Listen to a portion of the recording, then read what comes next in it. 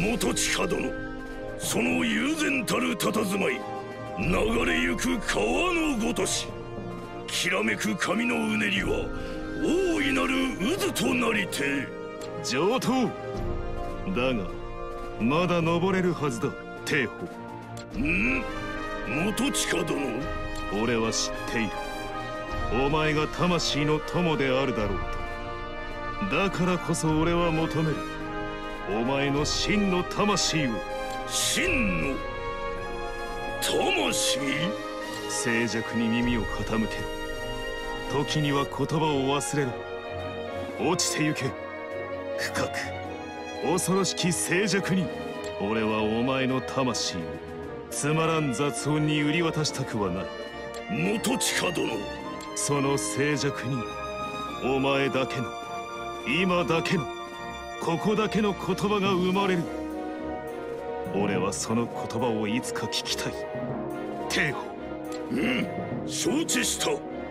友となる者の頼みとあらば力を尽くそう。はいどうも皆さんこんにちは、ナタです。というわけで今回はですね、戦国無双4デラックスではなくて無双ル3ですね。えー、いきなりですね、タイトルを間違えていくっていうね、がっつりタイトル間違えてるやんけってね、えー、ツッコミが入りそうなんですけどね。まあそんなんはね、どうでもいいですね。もう滑舌が悪いですね、調子が悪いですね。はい、大丈夫か？うん、大丈夫。まあね、無双ル3のキャラフルシリーズの動画やっていきたいと思いま、思いま、思いまーてなわけで、えー、今回触れていくキャラクターはこちらのキャラクターになります。じゃんはい、長宗我部元親ですね。はい、戦国無双ですね。戦国勢から長宗我部元親やっていきたいと思います。四国の大名ですね、長宗我部家の当主、誠実なる反骨魂ですよね。まあ、この人ですね、この人のですね、声優さんがですね、なんとこの無双オロチ3ですね、5役やってるっていうね、びっくりするでしょ。オロチ、新オロチ、芝居、しばし、そしてこの長宗我部ですね。まあこのソカベイさん、まあ誠実で上等な反骨侍っていう感じですね。まあ作品を経るごとにですね、装いがね、ロックになっていくお人ですね。えー、まあ衣装がですね、見た目が感じがですね、すげえロック、すげえロック、まあ史実ではですね、長塚部家の21代目当主と呼ばれています。ちなみに15代目当主と同盟であるで21歳で家督を継いで土佐にひしめく7つの勢力の中で最も弱小と評されていたこの長宗我部家それをですね復興させ土佐随一の勢力まで育て上げるなど、まあ、そんなお家をですね四国の覇者にまでしたそんなね、凄腕の君主になっていますね。まあ、幼少期はですね、肌が白くておとなしい人物であることからですね、姫和子なんてね、揶揄されてきたんやけど、後のですね、戦働きで逆にですね、鬼和子なんてね、称された。マジで、誠実、誠実って感じですね。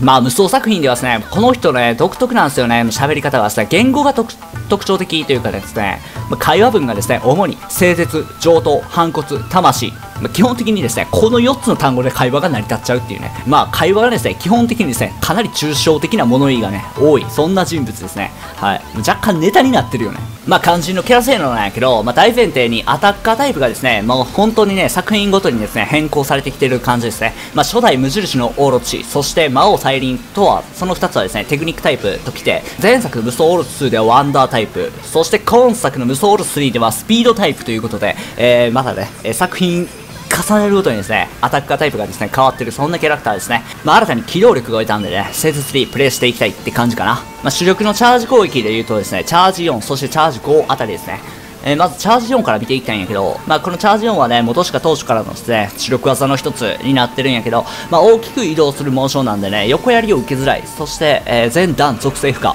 このチャージ4はですね、まあ、結構安定感があって非常に使いやすいですね。そしてもう一つの主力チャージはチャージ5ですね。まあこれは主力技とか言ってるんやけど、結構隙が多いモーションなんよね。まあその代わりですね、範囲が広いっていうこともあって、まあ最大までね、えチャージ5の3度目まで繋げれば、かなりですね、範囲広く攻撃できる技になってます。こちらもですね、前段属性負荷。まあこの超使い元しか、まあ武器の関係上ですね、基本モーションのリーチが短いっていうことがですね、かなりね、弱点になってるよね。そしてですね、まあ、攻撃速度もね、そこまで速くない。なので、新速属性あたりでですね、あの、スピードを上げていきたい。まあ、チャージ攻撃につなぐまでのね、スピードをですね、高めておきたいので、新速属性というのは必須になってくるかなと思います。えそして超使い元近の無双ランですね、まあ、三味線を奏でてね音波を乱射するっていうモーションになってるんで、えまあ、ヒット数はねかなりいいですね。方向転換も自在でえ結構高性能と言える無双奥義になってますね、まあ、威力は乏しいけどね、まあ、範囲面で結構優秀なんで、まあ、そこまで悪い無双奥義とは思えないそんな感じになってます。そして戦国勢の無双極意無双奥義回伝ですね、ま、無双極意を使えばですね、まあ無敵状態になるんで、まあ新速攻撃をガンガン発動できる。そして無双奥義回伝は、えー、聞け魂の歌みたいな。これもね、まあ威力範囲そこそこあるんで、これもね、結構必殺的な感じで使いやすいですね。そして戦国勢の持つ神速攻撃ですね。まあ他のね、戦国キャラと比較して、神速攻撃の前進距離がやや短い。ただ、非常にね、小回りが効きやすいモーションになっているので、えー、もう雑魚狩りとかではですね、基本的にめっちゃ使いやすいですね。新速攻撃はですね、全弾属性負荷。これは戦国勢共通仕様ですね。そして、新速強攻撃ですね。えー、中でもですね、新速チャージ6ですね。が、これが強力ですね。新速強攻撃も全弾属性負荷ですね。この新速チャージ6は、えー、範囲かなり広がりますね、えー、空中でですねとどまるモーションになっているのでその後のねジャンプキャンセルはあのちゃんと使っておきたいとこですね。スピードタイプってこともあって、まあ、空中にとどまるその隙をですね回避できる感じになってアタッカータイプの相性も良くてガンガン使っていけるそんなモーションになってます。そして今作から導入された真術システムですね。超スカベ元親の神器は北欧神話の霊馬テイン。これはですね、後に DLC 追加新規でオメガレーバテインっていうのも出ていますね。まあ、この2種類で見ると、DLC のですね、オメガレーバテインの方がね、優秀と言える。特にですね、新速攻撃を持っている戦国勢とのね、相性がいいので、あの、通常真実が、まあ、前方広範囲のね、敵を浮かせる状態になるので、えー、そこからですね、新速攻撃につなげていける真術になっているので、えー、オメガレーバテイン結構おすすめですね。えー、そしてですね、チャージ真実も非常に強力ですね。四角、三角、丸ボタン、いずれかをですね、連打することでですね、一定時間内で何度でも打ち続けられるっていうね、えー、火力が高いんですよね。あの、それがね、結構メリットなんで、えー、オメガレーバテイン、DLC のね、オメガレーバテイン持ってるならば、こちらの方を超スカベにはつけていきたいとこですね。そして、超スカベ元親の固有真術ですね。これは主力技の一つになっていますね。このキャラクターの。えすごい使い方をするんですよね。なんか仁義の使い方間違ってるんじゃないかっていうぐらいね、すごい使い方なんですよね。えー、おもろいっすよ。なんか令和店員をね、頭上に出現させて、なんかスポットライトみたいな感じにしてね、自分を照らすだけっていうね。えー、で、攻撃はですね、普通に、あの、三味線の攻撃っていうね。